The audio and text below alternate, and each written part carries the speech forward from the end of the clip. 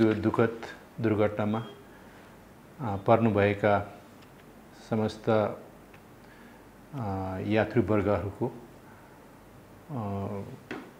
आत्माले चिर शान्ति मिलोस् भनेर एउटा श्रद्धा सुमन टक्राउन चाहन्छु। र हाम्रा पाइलट भनेपछि हाम्रो आफ्नै कम्युनिटीको पऱ्यो। म आफै पनि त्यसको त्योसँग आबद्ध भएको हुनाले। अनि एउटा मिराकाल नै भयो। क्याप्टन साक्य सर्भाइभ हुन सक्नु भएको छ उहाँ अहिले चाहिँ मेडिकल ट्रिटमेन्टको फेजमा हुनुहुन्छ उहाँको शीघ्र स्वास्थ्यको लाभको कामना पनि गर्दछु अब मैले सुरुवात हिजोकै घटनाको परिवेशमा गर्ने जमर्को गर्छु अब यसबारे मैले क्रिटिकल्ली जाँदिनँ किनभने विगतका कैयौँ दुर्घटनाहरूमा हामीले बोलेका छौँ। मैले पनि बोलेको छु। र बोल्ने क्रममा के थियो भने त्यसको लिभिङ विटनेस कोही पनि थिएन। अनि त्यसपछि घटनाक्रमलाई निहाल्दा र आफ्नो अनुभव र क्षमताले भ्याएसम्मको त्यसलाई चाहिँ विश्लेषण गर्दाखेरि जे कुरा देखिन्थ्यो अथवा देखिएका थिए त्यसकै आधारमा हामीले विश्लेषण गऱ्यौँ हिजोको दिनमा। तर आजको दिनमा सौभाग्यवश हाम्रो क्याप्टन साक्य जीवित हुनुहुन्छ। त्यस कारणले धेरै कुराको जवाफ उहाँसँगै छ। हिजोको किन भयो कसो भयो भन्ने कुरामा मैले धेरै कुराहरूलाई भनिरहनु त्यसको कुनै अर्थ हुँदैन। किनभने हिजोका दिनमा हामीले एउटा हाइपोथेटिकल्ली एउटा एजम्सनको भरमा हामी जान्थ्यौँ हिजोको भरमा जहाँ कि आज त्यो फ्याक्ट बेसमा जानुपर्ने हुन्छ। किनभने जीवित विमान चालक हामीसँग अझै हुनुहुन्छ। र जहाँसम्म यस क्रममा पनि अब हिजोको जुन घटना घट्यो त्यो जहाज सिचेकको लागि फेरी फ्लाइटको लागि जाँदै थियो। अनि जाने क्रममा सौर्या एयरलाइन्सका प्राविधिक टोलीहरू त्यसमा थिए ज्यादातर। त्यसमा अन्य व्यक्तिहरू पनि थिए भन्ने कुरा मिडियाबाट सुन्न आयो। र अब त्यो कति ठिक कति बेठिक भन्ने कुरा नियामक नि निकायलाई थाहा छ एयरलाइन्स आफूलाई पनि थाहा छ। र विमान सम्बन्धी प्रोटोकल सम्बन्धी जानकार भएको सबै व्यक्तिहरूलाई थाहा छ। त्यस कारणले मैले त्यसलाई व्रत उजागर गर्न चाहेन। जहाँ सी चेक भन्ने कुरा एउटा नर्मल प्रक्रियागत चेक हो हामीले ठुला ठुला जहाजहरू बाहिर लान्छौँ। नेपालमा त्यसको सुविधा छैन। त्यस कारणले A check B check C check भने जस्तो अब यो जहाजलाई पेरिडिकल्ली हामीले टेक्निकल्ली त्यसलाई चाहिँ सर्वे गराएर हेरेर त्यसलाई इन्सपेक्सन गराएर त्यसको मेन्टेनेन्स गर्नुपर्ने हुन्छ त्यो रिक्वायरमेन्ट तर यो सी चेक चाहिँ अलि लामै अवधि एक महिना कुनैमा डेढ महिना कुनैमा पाँच हप्ता यस्तो लाग्ने भएको हेरिकन कति लेभल अफ ड्यामेज भन्छौँ कि हामीले कतिसम्म त्यसलाई चाहिँ कति गहिराइसम्म त्यसको रिपेयर गर्नुपर्ने छ कि? त्यसको हेरिकन त्यसको समय अवधिहरू तोकिन्छ। त्यो त प्राविधिक टोलीहरूले गर्ने हो। जहाँसम्म हिजोको अब यो एटिआर जहाज आफैमा एउटा राम्रो जहाज हो सफल एयरक्राफ्ट नै हो। अब यो त्यसलाई लाने क्रममा सिचेकमा अब नेपालभित्र त्यसको दुई तिन ठाउँमा त्यसको सम्भावना थियो सिचेकको।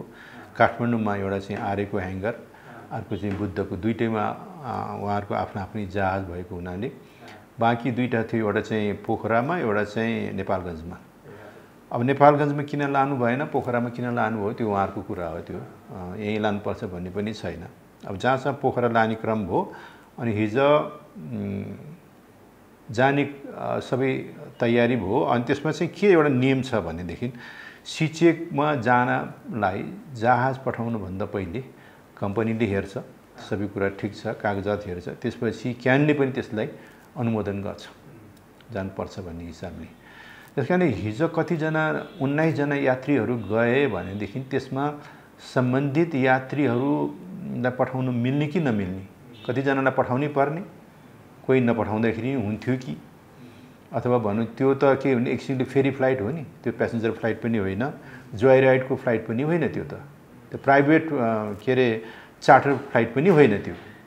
भनेदेखि जसले जहाँ अझै मिल्ने नै भएदेखि त पचासवटा सिटको जहाजमा उन्नाइसजना प्यासेन्जर किन लान्थ्यो उनीहरूको एकतिसवटा जहाज के अरे त्यो सिट त खेर गइरहेको छ नि त त्यहाँ। अथवा भनौँ रिड्युस लोड फ्याक्टरको हिसाबले लोडको हिसाबले पनि पेलोडको हिसाबले पनि उनीहरूले तिस अब तिसको ठाउँमा पैँतिस के अरे चालिसवटा पैँतालिसवटा त लान्थ्यो होला। तर त्यो पनि लगेन नि त। किनभने रेभेन्यू फ्लाइटमा त्यहाँ आउँदै कुरै आउँदैन। भन्ने जे होस् उनीहरूले उन्नाइसजना मान्छेहरू राखिए त्यसमा को को राखिए किन राखिए भने त्यसको भोलि जवाबदेही त त्यसबाट चाहिँ आउने भोलिको बिमा सम्बन्धी कम्प्लिकेसनहरू त्यो त भोलि अध्ययन समितिले भन्ने नै छ। र जहाँसम्म अब उनीहरू उन्नाइसजना प्यासेन्जर लिएर उनीहरू टेकअपको लागि तयार भयो अनि गयो। यो चाहिँ रनवे जिरो टूबाट गयो। हाम्रो साउथबाट नर्थतिर जानुपर्छ। अनि त्यसमा जाँदाखेरि हल्का फरक छ जिरो टू र टू जिरो रनवेमा। हामी जहाज हेभी भयौँ भने हाम्रो जहाजमा म्याक्सिमम् लोड भयो भने हामी टु जिरो युज गर्छौँ। उत्तरबाट चाहिँ दक्षिण। किनभने अलिकति त्यसको ग्रेडियन्ट अलिकति अलिकति भिरालो छ कि? त्यसले पनि धेरै फरक पार्छ हामीलाई। र फेरि नेपालको हाम्रो काठमाडौँको के अरे हावाको एटमोस्फेरिक कन्डिसनको हिसाबले पनि धेरै जसो विन्डहरू साउथबाट चल्छ कि? अनि जहाजलाई उडान गर्ने क्रममा सकेसम्म हेभी जहाज छ भनेदेखि उसको नाकमा ठोकिने गरी हावा आउनुपर्छ भन्ने लाग्छ कि? अनि त्यो माने त्यसले गर्दाखेरि त्यसलाई त्यसको स्पिड बढ्ने अनि त्यसको लिफ्ट चाँडै हुने इत्यादि कुराहरू छन्। त्यसको आफ्नै के अरे क्यालकुलेसनहरू छ। त्यस कारण हामीले जिरो टू जिरो गर्छौँ। तर अस्तिको दिनमा उहाँहरूले जिरो टू गर्नुभयो तलबाट आउनु। किनभने त्यो पनि ठिक छ। किनभने पचासजना प्यासेन्जरको क्यापेसिटी भएको जहाजले उन्नाइसवटा मात्रै बोकिरहेछ लेस देन हाफ हाफ क्यापेसिटीमा उडेको छ भने चाहिँ जहाज स्वत त्यो चाहिँ हल्का छ कि। त्यस कारण हल्का जहाज भएको हुनाले उसले त्यहाँबाट जानलाई क्याप्टन साहबले जुन डिसिजन गरियो त्यसलाई चाहिँ अन्यथा लिनुपर्ने जरुरत छैन। किनभने मलाई जहाँसम्म लाग्छ त्यो जहाजको पचासवटा पचास सिटको क्यापेसिटी लिएर त्यो जहाज काठमाडौँबाट धेरैचोटि उडेको उडिसकेको हुनुपर्छ। किन मेरो म त्यसमा त्यसको चालक पनि होइन त्यसको त्यस कारण त्यसको अपरेसन सम्बन्धी ज्ञाता पनि होइन। तर जहाँसम्मको हाम्रो हिसाबमा किनभने मैले जुन पनि जति पनि चाहे त्यो बोइङ उडाओस् चाहे चाहिँ ट्विनटर उडाओस् किनभने काठमाडौँको ले त्यो म्याक्सिमम् प्यासेन्जर लिएर उड्न सक्छौँ कि हामीले सक्थ्यौँ भनेदेखि अहिले नसक्ने भन्ने कुरा छैन त्यो अँ अँ त्यो मलाई जहाँसम्म त्यो ठिकै छ उहाँको। अब उहाँ रनवेभित्र पस्नुभयो। अब मानौँ हामीले अब हामीले एउटा भिजुलाइज गरौँ। अब उहाँ रनवेभित्र पस्नुभयो पसेपछि उहाँले अब क्लियरेन्स क्लियरेन्स लिने त्यो आफ्नै छँदैछ। लिएर अब टेकअप दियो उहाँलाई। टेकअप दिएपछि जहाज गुड्नुभन्दा पहिले नै हाम्रो एउटा प्रि टेकअप चेकलिस्ट हुन्छ। बिफोर टेकअप भनौँ न।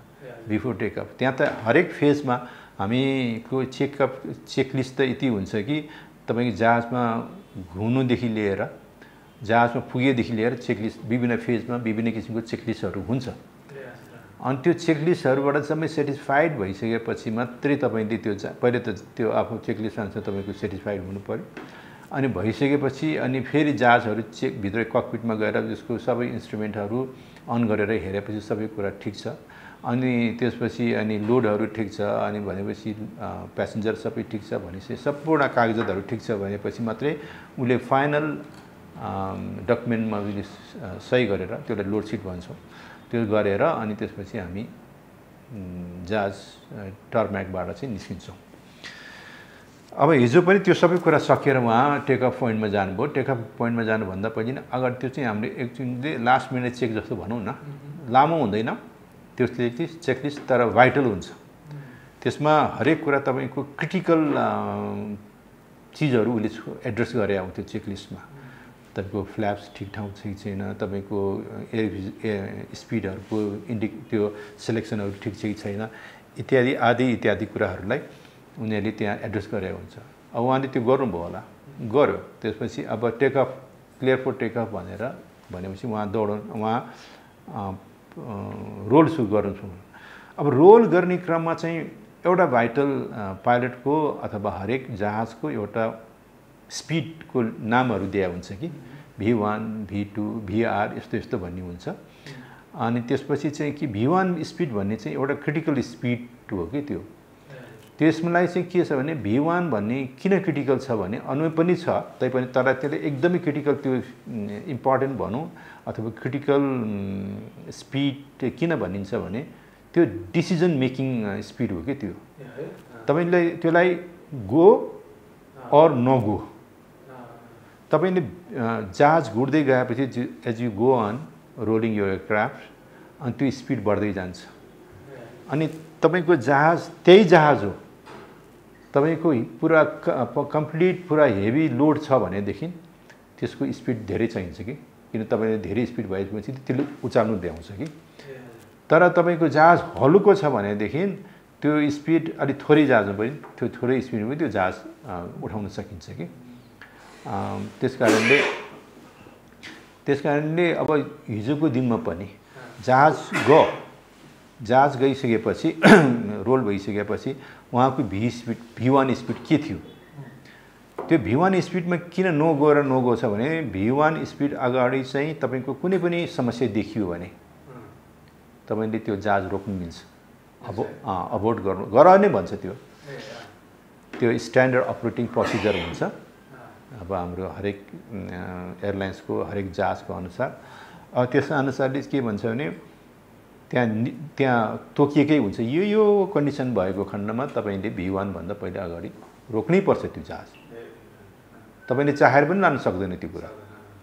तर once you cross the V one speed त्यसपछि म होइन म त रोक्छु भने त्यो पनि मिल्दैन। किनभने त्यो स्ट्यान्डर्ड अपरेटिङ प्रोसिजर भने त्यसमै हुन्छ एसओपीमा कि after V one you have to airborne no matter what it is तपाईँको इन्जिन आगो बलिरहेको छ इन्जिन फेल भयो अब त्यसपछि दुईवटा क्रिटिकल मोस्ट क्रिटिकल फेज भनौँ न भएपछि अनि त्यो दुइटै भन्दा अन्य कुराहरू त अलिक कम भयो भनौँ। अब दुइटा कि इन्जिन टेकअप बेलामा बेला आइसक्यो इन्जिन फेल भइदियो आग लागि भइदियो।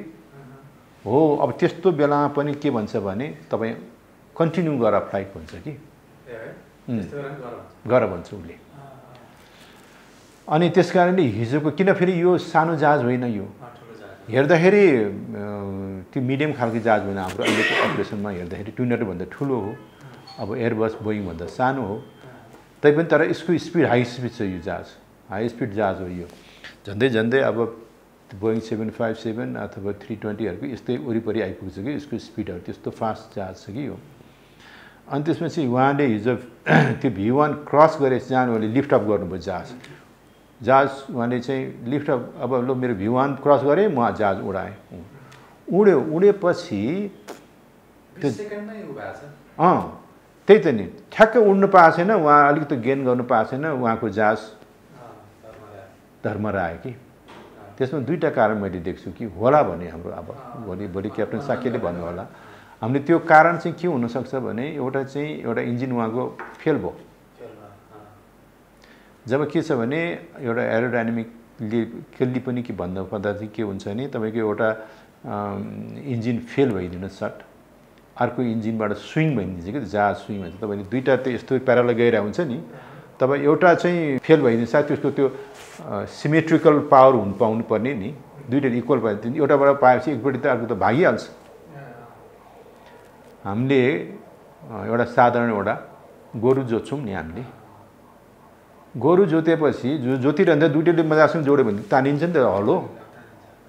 तर एउटा गोरु खन्च्याङ्गै भइदियो भने चाहिँ के हुन्छ? अर्कोले त तानेर लान्छ नि त यतापट्टि उसले मात्रै तानेर लान्छ नि ऊ जता जता जान्छ उता तान्छ नि। त्यस्तै हो कि? किनभने दुइटाले समान सिमेट्रिकल पावर भयो भने त्यो जहाज सिधै जान्छ। रनवेको सिधै जान्छ माथि उठ्छ। तर यहाँ त एउटा मात्रै फेल भइदियो भने त्यसले बाँगिन्छ जहाज। र अब अर्को एउटा कन्डिसन चाहिँ भने त्यो जान उठ्न उड्नु पाएको थिएन उहाँले चाहिँ आग लागि भयो अथवा त्यस्तो इन्डिकेसन आयो भने पाइलटले तुरुन्त अब हुन त त्यो के छ भने एउटा सेफ अल्टिच्युड पुगेपछि गर भन्छ। त्यो अब तर अब हुनसक्छ उहाँले पहिले गरिदियो कि। अब त्यो गर्न साथ एउटा इन्जिन काटिदिइहाल्छ उहाँले। घुमाइ इन्जिनलाई चाहिँ तानिदिइहाल्छ त्यसपछि फ्युल बन्द गर्छ। त्यसपछि त्यसको त्यो इन्जिनमा आगो लागेको छ भने त्यसको लागि फायर स्टिङ्विसरको स्विच हुन्छ त्यो। त्यो आउनुसाथ त्यो फायर स्टिङ्विसरबाट हामीले यसरी स्प्रे गर्छौँ नि आगो मार्नलाई। हो त्यस्तो अटोमेटिकली त्यस्तो भइदिन्छ। तर जुनसुकै अब यो दुइटै कन्डिसनमा दुइटै कन्डिसनमा जे आए पनि उहाँ कमान्डर भएको हुनाले he is suppose to control the aircraft अब त्यसलाई चाहिँ त्यो गरेर के गर्नुपर्छ? सेन्ट्रल लाइन जहाजलाई चाहिँ तपाईँले यताउता भाग्नु दिनु पाउँदैन तपाईँले। त्यस कारण त उहाँ क्याप्टन भएको छ। अथवा हामी क्याप्टन हुन्छौँ भनौँ न। त्यो एउटा खुबी चाहिँ हुन्छ किनभने ट्रेनिङको बेसिसमा त्यसलाई धेरैचोटि त्यसलाई ट्रेन गराएको हुन्छ। इभन हामीलाई त्यो हरेक छ छ महिनामा हामीले सिमुलेटर ट्रेनिङ गर्छौँ त्यसमा गरेको हुन्छौँ। अनि त्यसपछि त्यस कारणले त्यो दुइटा कन्डिसन होला कि भयो कि भन्ने मलाई एउटा जस्ट इमेजिन एजुम्सन हो मेरो। किन जहाज त्यसै त भाग्दैन त्यसरी। सिधा अब नर्मल जहाज उडाइरहेको छ त्यत्रो अनुभवी क्याप्टेनले उडाउँदाखेरि जहाज त्यतरी त भाग्दैन। अनि त्यस कारणले अब त्यो एउटा भयो। अनि त्यो दुइटै कन्डिसनमा यदि उहाँको उहाँलाई त्यो कुनै पनि एउटा समस्या आइदियो र त्यो बेलामा चाहिँ उहाँको प्रेजेन्स अफ माइन्ड भन्छौँ कि हामीले पाइलटको त्यो चाहिँ जहिले पनि एकदमै अलर्ट हुनुपर्छ कि त्यो। एनी टाइम तपाईँलाई भन्नु सक्दैन अब जिन्दगीमा तपाईँलाई कहिले पनि नआउनु पनि सक्छ। त्यो त्यस्तो घटनाहरू कहिले फ्रिक्वेन्टली पनि आइदिनु सक्छ। तर हामी त रेडी हुनु पऱ्यो नि त। प्रेजेन्स माइन्ड चाहिँ त्यही हुनु पऱ्यो त्यस कारणले हिजोको त्यो बेलामा जहाज उड्यो सिङ्गल इन्जिन भयो अथवा फायर भयो उहाँले डिल गर्नुभयो। अब त्यो डिल गर्दा सँगसँगै के छ भने उहाँले डिल गर्ने दुईवटा पाइलट हुन्छ त्यस कारण एउटाले डिल गर्छ भने एउटाले जहाज चाहिँ अल द टाइम तपाईँले कन्ट्रोल गर्नै पर्छ हो त्यो कन्ट्रोलिङमा चाहिँ मैले अलिकति प्रब्लम देखेँ होइन किनभने त्यो जहाजलाई चाहिँ के भने to the central line of the aircraft के अरे रनवे भन्छौँ कि त्यसलाई चाहिँ त्यो डाइरेक्सनल स्टेबिलिटी चाहिँ थिएन कि त्यहाँ यता भयो उता भयो त्यो सिधै जानुपर्ने तपाईँको जहाज सिङ्गल इन्जिन भयो अथवा जे भयो भने झडक्क एकछिन हुनसक्छ भने तर तुरुन्तै उसलाई चाहिँ करेक्सन गरेर त्यहाँ ल्याउनै पर्छ उसले चाहिँ सिधा गर्नै पर्छ जहाज तर हिजो चाहिँ जहाज अनकन्ट्रोलेबल पनि देखेँ होइन अब त्यो त के कारण कस्तो कारण मैले सोचेको मैले देखेको यी दुईवटा कारण बाहेक अनु पनि हुनसक्छ तर सरसर्ती हेर्दा यिनै देखेको त्यस कारणले हिजोको अनि त्यसपछि त जहाज के भयो कसो भयो त्यो त छँदैछ